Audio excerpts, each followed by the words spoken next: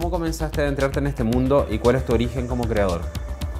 Comencé a los 15 años y si bien partió como una especie de juego porque tenía tiempo libre después del colegio, em, con el tiempo hacer imágenes fue algo que me llamó más la atención, sobre todo por cómo em, podía intervenir las imágenes de manera digital.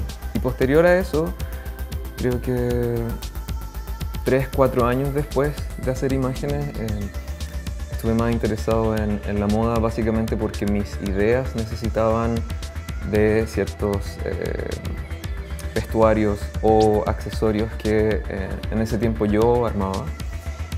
Y luego me vine a Santiago y lentamente comencé a adentrarme al mundo del diseño porque podía contar con la ayuda de personas que sí eran expertas en esos temas. ¿Cuáles son las bases sobre las que se desarrolla tu inspiración al crear? Claramente hay un mundo interno, pero se va desarrollando mientras voy armando las piezas. Pero la base siempre es el cotidiano, el diario vivir, lo que converso con mis amigos, con mis colegas, con mis mentores, em, lo que voy estudiando por mi cuenta en el taller. Em, estudio harto otras cosas que no tienen que ver con moda. Estoy más ligado al mundo de la ciencia, de la música.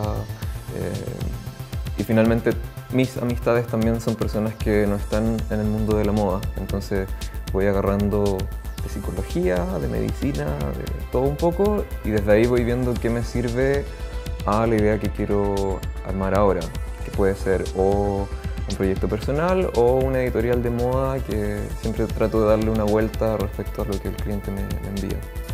¿Cómo desarrollas tu proceso creativo al momento de trabajar?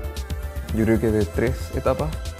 La primera es eh, armar un bagaje de antecedentes que tengan que ver con estudiar diariamente, eh, sea desfiles, entrevistas, eh, estudiar música.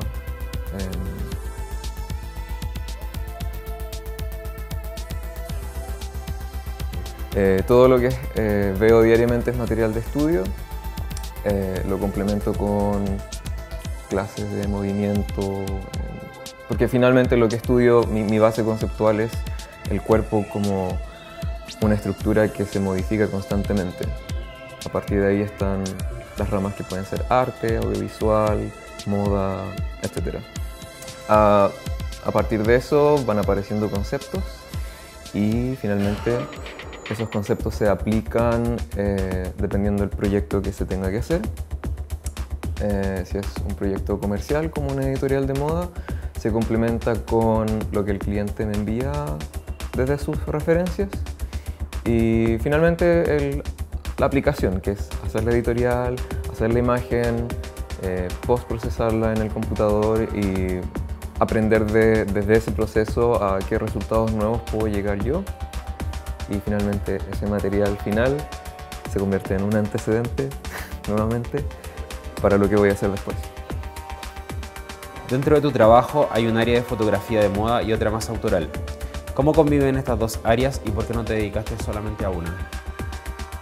que una de las gracias de ser un artista multimedia es que tengo la libertad de hacer lo que yo quiera.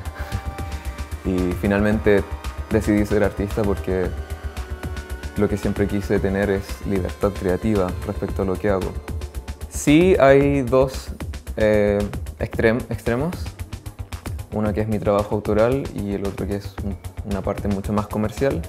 Eh, pero dentro de esos dos extremos hay una gama de grises que se van entrelazando y finalmente convergen en, cosas que son más híbridas. Por ejemplo, Fashion Films, que es una mezcla completamente de mi trabajo como autor, director creativo, eh, con, un, con un esmalte de moda ¿Cuál es tu visión de la moda, tanto como industria como en el aspecto creativo en Chile? No es solamente el vestuario, sino que para mí tiene que ver con un comportamiento social que se va, eh, se va mostrando constantemente a partir de los cambios que ocurren en el mismo presente. No es solamente ropa, sino que todo lo que engloba eso.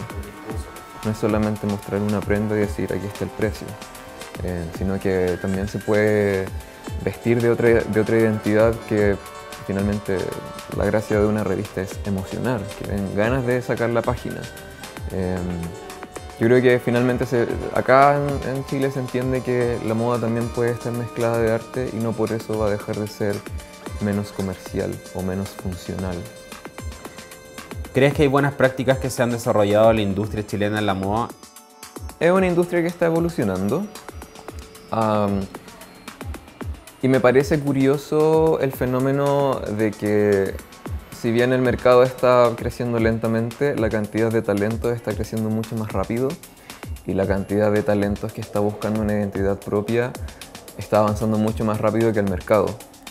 Eh, entonces, si bien siento que estamos a un muy buen nivel en términos de calidad, eh, no estamos bien en términos de mercado y sobre todo no desde los talentos, sino desde los clientes. Siento que la visión del cliente tiene que un poco evolucionar respecto a lo que está pasando ahora y no concentrarse en cosas que ya pasaron hace cinco años. ¿Hacia dónde se dirige tu trabajo como creador? Mm, no tengo ninguna meta en particular específica, como quiero trabajar con este cliente o quiero llegar hasta acá y esto va a ser el auge de mi carrera. Sí, eh, como proyección dentro de, mi, de lo que hago, em, espero que primero pueda seguir viviendo de esto y esté rodeado de personas que me estimulen intelectualmente constantemente. ¿Cuáles son las limitantes que la industria chilena impone a los diseñadores, fotógrafos o en general a los creadores nacionales? Yo creo que el límite va en la libertad creativa sobre todo, en base a, los miedos que tienen los clientes generalmente, de querer innovar y se basan en cosas que ya existen. Si bien existe este riesgo de equivocarse, también existe el valor de innovar. Eh, y yo creo que esa limitación del no querer innovar, del no querer eh, entender que la identidad chilena y la creatividad chilena tiene un resultado muy autónomo que afuera se ve súper bien, eh, acá es casi como algo negativo, que si se ve algo chileno es, está mal hecho, que lo chileno está mal hecho y que todo lo que es europeo o estadounidense es lo correcto pero eso finalmente nos limita a nosotros como creadores en poner nuestra propia búsqueda como autores chilenos respecto a lo que está ocurriendo acá como contexto, sino que estamos obligados constantemente a copiar cosas que ya existen. Sin embargo, si voy a trabajar con esto, por ejemplo, es cuán lejos lo voy a llevar de su contexto original al resultado final lo que divide a un buen creativo con un creativo que no es tan trabajólico. Los fashion films han tomado relevancia. ¿Cómo comenzaste a adentrarte en este mundo? Todo comenzó desde un contexto en que eh, Show Studio tenía este concurso respecto a fashion films. Yo había hecho un trabajo donde había muchos GIFs animados y finalmente fue como ok, si tengo todo este material animado, ¿por qué mejor no lo pongo todo junto y armo una, un audiovisual? Y yo creo que ese fue mi primer fashion film ah, oficial y que me llevó a un, muy buen resultado porque quedó dentro de, los finalistas de este festival y tal como cuando comencé a hacer, a hacer mi obra a los 15 fue como, ok, creo que si me está yendo bien en esto, hay que seguir. Y em, la evolución comenzó hacia ese lugar y, em, ahora me llaman para hacer fashion films. Entonces finalmente fue una, fue una evolución súper orgánica respecto a lo que estoy haciendo. Pero ¿qué es lo que busco dentro de eso? Es finalmente eh, estimular el ojo. La, la gracia que tiene un cortometraje de moda es que no necesariamente necesita de un, de guion o no necesariamente tiene que ser una historia con una narrativa tan compleja, porque no, soy un guionista, pero sí soy bueno para estimular visualmente. La residencia fue un proyecto que se armó en conjunto con Shadow Studio y el British Council, donde eh, se armó este proyecto, se presentó a Show Studio porque ya estaba la invitación a trabajar con ellos y finalmente fue como, ok, está todo listo, eh, ¿qué les parece? Y hice una residencia artística por dos meses donde como director pude armar un proyecto desde cero eh, teniendo a Nick y al equipo de Show Studio como mis mentores que me iban dando comentarios y un feedback respecto a lo, que, a lo que iba estudiando diariamente. Se construyó este proyecto que consta de una editorial de moda y un audiovisual, eh, un fashion film, que se publicó en Show Studio en paralelo con King Kong Magazine. ¿Qué se está haciendo para que el diseño chileno consiga una marca propia a partir de conceptos originales y no se quede atrapado en las referencias o la repetición? Chile está en un muy buen nivel creativo. Tenemos una cantidad de talentos muy buenos y ya lo hemos demostrado con los premios que ha ganado el país. Em, entonces finalmente falta la seguridad de, entender que el cliente extranjero no está buscando un resultado europeo, porque para eso tiene a la persona que está a dos cuadras, que puede llamar, y no necesita pagarle a alguien que vive en Sudamérica a que viaje a tu país a hacer lo mismo que hace alguien que está al lado.